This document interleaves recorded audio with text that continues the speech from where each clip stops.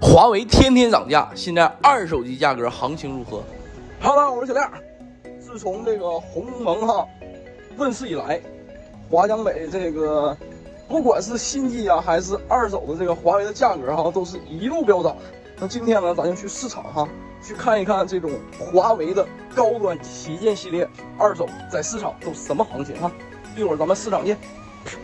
首先看两台这个荣耀的 V 四零哈，一台是这个轻奢版的，一台是这个标配版的，两台机器的屏幕色差不一样哈。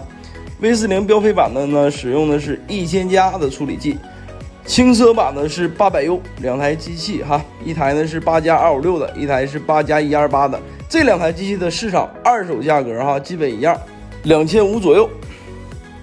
华为 Mate 四零 Pro 八加二百五十六 G 的，现在这种机器都是要溢价的哈。这种二手这种标准成色的市场价格也要在六千三左右哈，价格呢还是挺高的。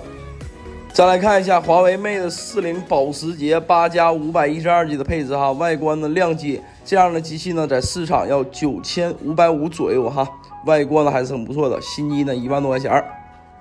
这款机器的这个背面哈非常喜欢，还是挺有 feel 的感觉。再来看一下华为 Mate 三零 Pro 八加一百二十八 G 的这款机器，在市场这种标准成色的要三千九左右哈。虽然呢是去年的旗舰款，但这款机器还是很受欢迎。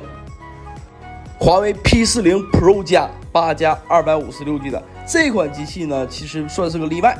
这款机器的新机价格现在呢要七千多，而这款机器的二手呢现在是五千左右，相比之前没有涨价，而且还小降一丢。